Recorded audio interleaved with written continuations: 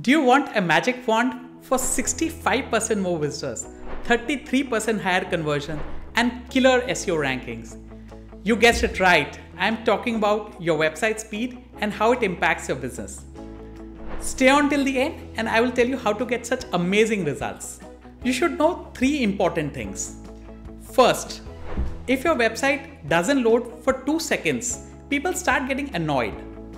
Take more than 3 seconds and 40% visitors will abandon your site.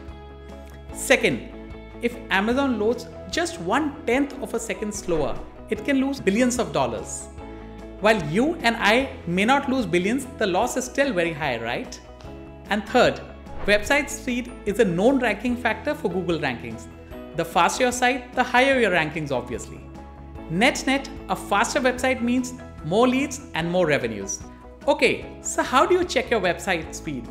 Oh, I know, you just clear browser history and plug in your website, right?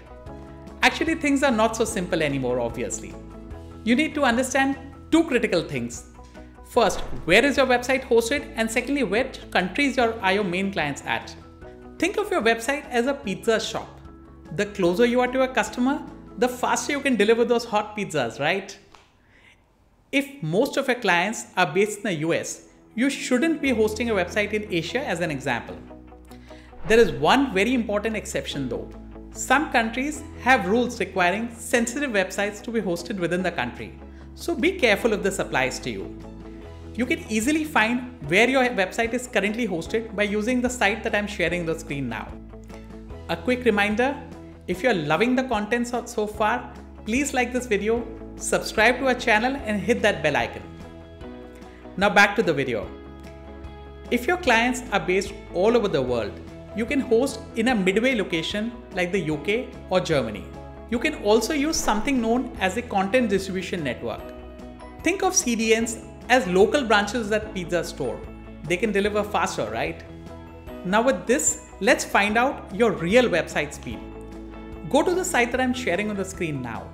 Sign up for a free account and key in your website address. Take care to expand the analysis option button and then select the country from which you want to test your website. You can also turn on the create video option so you can review the video of the website later. Once you get the results, switch directly to the performance tab and focus on two key metrics.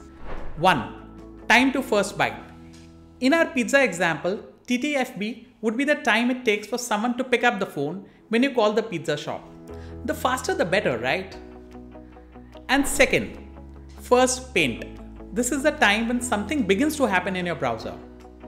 So coming back to our pizza example, this would be like the time at which the customer service rep starts taking down your order. All the other performance metrics are certainly very important. But in my personal opinion, the average business user should be looking at these two metrics first. Finally, how do you fix this and your overall site speed? First, ask your current website hosting provider to move your site to a location closer to your customer. And second, you can get your hosting upgraded to a more powerful setup. The more powerful the setup it is, the faster your site, right?